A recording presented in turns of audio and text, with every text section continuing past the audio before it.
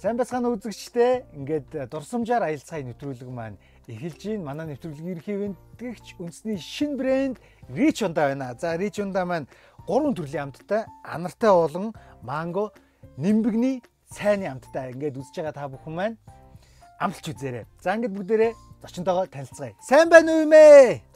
За чихэн дээр нэг хорлоод баймааргүй байна. Эмээ нь бол дүүлийн бол биш шүү. За уучлаарай. За ингээд эмээ та ингээд үзэж байгаа бидэнд өөрийгөө гоё танилцуулаач ээ. За эмээгийн Дэён гэдэг юм. Дэён. Ер нь бол үндсэн нэр маань Дэнсма. А Дэён гэдэг маань миний хоёр дахь нэр маань юм байна. Бас эмээ мэн өөртөө бас орчин үеийн бас гоё нэр өгсөн байна. Ингээд манай нэвтрүүлгийн ерөнхий гол зорилго бол ерөнхийдөө таны цаг дурсамжаар аялах тийм ээ та бол бас он цагийн бас гайхалтай түүхүүдээр бас амьдарч ирсэн юм чи бидэнд бас энэ дурсамжаас сан хуваалцаач. За би тэгэхээр дурсамжаа ярих нь зөв үү? Зөв. За байц тэр чи одоо хэдэн он байлаа?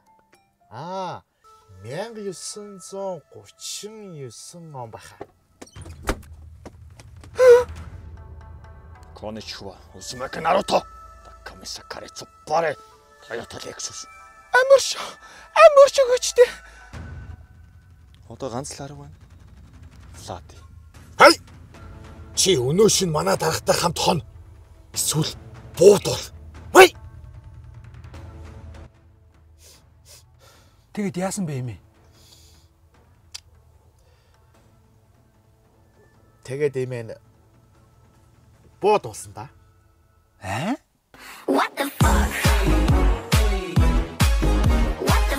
Шва. А що тата стив?